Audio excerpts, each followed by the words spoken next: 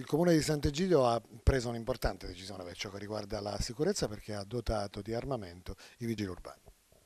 Eh, sì, oltre a questo sto facendo anche altre cose. Questa era una cosa ormai vecchia che ho trovato nei cassetti del comune, dentro la cassaforte per dire la verità, eh, la, le armi che furono acquistate eh, tanti anni fa e poi mai consegnate comunque al, al corpo di vigili urbani. Ehm, la documentazione era anche tutta pronta, naturalmente eh, non è che mh, per fare aggressione a qualcuno, ma è solo eh, per metterli eh, in condizione di poter operare ai nostri vigili urbani, anche perché a volte intervengono anche insieme all'arma dei carabinieri, di carabinieri e di, anche di polizia.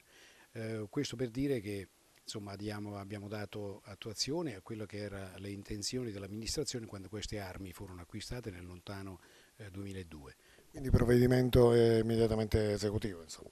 Sì, immediatamente esecutiva, infatti pronta la documentazione, l'assegnazione l'ho già fatta, quindi oggi sono armati. E poi c'è stata anche l'approvazione del regolamento anche da parte del Consiglio Comunale con voto unanimo, unanime di allora.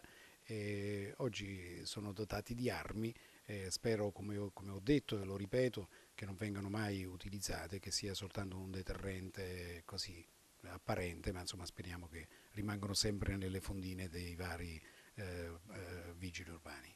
In programma, sempre da parte dell'amministrazione, anche un implementamento di quello che riguarda la videosorveglianza.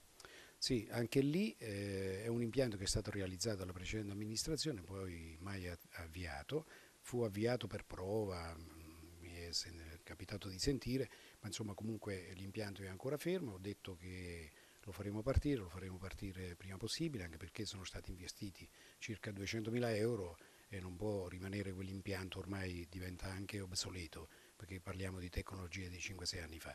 Intanto attiviamo quello che, che abbiamo nei cassetti e poi successivamente studieremo anche un sistema diverso attraverso eh, fibra ottica, eh, attraverso le canalizzazioni che abbiamo disponibili sul comune di Sant'Egidio tipo eh, illuminazione pubblica e altro. Eh, questa pure è una bella cosa che eh, questa amministrazione intende fare. Io mi sto interessando un po' di tutto, anche dei problemi più grandi, però non sto trascurando niente, anche questo, abbiamo parlato di carnevale, forse è la cosa meno importante in questa fase, però ci occuperemo anche di questo.